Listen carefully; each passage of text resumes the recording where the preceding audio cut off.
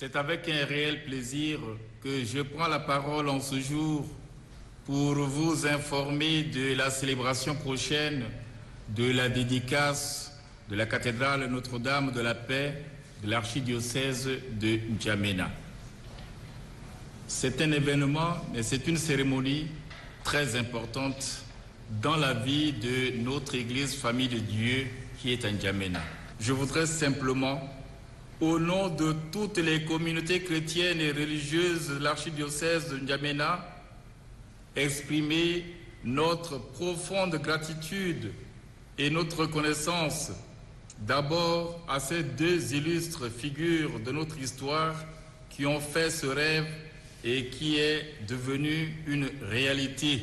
J'ai cité Monseigneur Mathias Ngarteri et Feu Maréchal Idriss Déby Itno. Nous voulons aussi remercier tous les bienfaiteurs, donateurs de l'intérieur comme de l'extérieur, fidèles catholiques ou non catholiques, qui nous ont accompagnés avec sympathie, patience et confiance dans la réalisation de ce chef-d'œuvre architectural.